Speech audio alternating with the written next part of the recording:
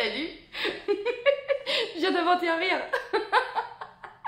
Bah oui, parce que je suis trop contente. J'ai enfin fini de préparer la rentrée, les forums des associations. J'ai même préparé toute mon année de yoga du rire. Toutes mes séances sont prêtes pour l'année.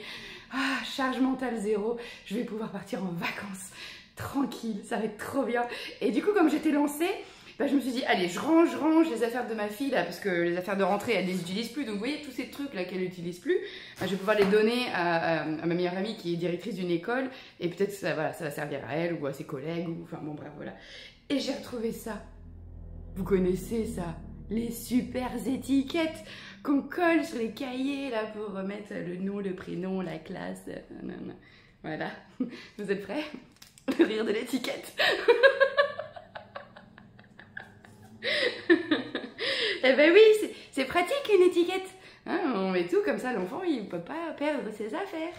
Mais là où c'est un peu nul, une étiquette, c'est que vous avez déjà entendu, j'en suis sûre, dans une famille, euh, ou même dans une fratrie plutôt pour être précis, ah bah oui, celui-là c'est l'artiste de la famille. Ou alors euh, au niveau de, l'entreprise, ah bah lui c'est le clown de service. ou voilà, moi j'ai plein d'étiquettes qu'on m'a collé et que je me suis collée. Hein, euh, j'étais la maniaque de service, euh, j'étais euh, la, mère étouffante parce que j'étais trop sur ma fille. Mais oui, forcément, le contrôle, le contrôle. voilà, quand on a des blessures, de, bah, vous connaissez les Bourbeau, forcément, on a tous les cinq blessures à des différents degrés. Donc, eh ben, on obtient en fait ce qu'on qu'on a reçu, hein, donc on met en place des stratégies, donc voilà, moi c'était le contrôle, et du coup je voulais tout, être sûr que tout se passe bien pour ma fille, donc il fallait que tout soit carré, tout soit contrôlé, millimétré, c'était horrible. Eh ben ouais, j'aurais pu garder ça toute ma vie, cette saloperie d'étiquette, mais non, parce que j'ai trouvé un truc qui m'a sauvé, qui a sauvé voilà, ce toute ma vie en fait, parce qu'il n'y avait pas que ça, hein. il y a plein d'autres trucs que j'ai déracinés. Moi, mon outil, c'est la résolution émotionnelle. Et du coup, j'en fais mon métier parce que c'est tellement génial que je veux en faire profiter les gens. Mais n'empêche que il y en a plein des étiquettes. Ah oui, lui il est introverti, elle elle est extravertie. Ah bah oui, euh, elle c'est une hypersensible, euh, elle lui c'est un HPI, lui c'est un pervers narcissique, lui c'est machin. Je dis pas que ça n'existe pas. Je dis juste que quand on donne une étiquette, et eh ben après la vie, c'est quand même nul ça.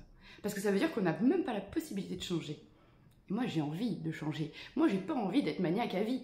D'ailleurs, euh, je sais pas quand est-ce que j'ai fait mes poussières la dernière fois. ça date. Hein. ah, mais non, mon père est venu il y a pas longtemps. Ça va, je sais faire. mais, mais, voilà, ça faisait longtemps. Donc, euh, vous voyez, en fait, une étiquette, c'est super pratique, mais c'est vraiment nul. Donc voilà, hein, les étiquettes, ça envoie la joie. Et ça évite les stigmatisations, ça évite de coller des gens dans des cases là, et c'est juste nul à Salut, bonne journée. Prenez soin de vous, ça envoie la joie. Ciao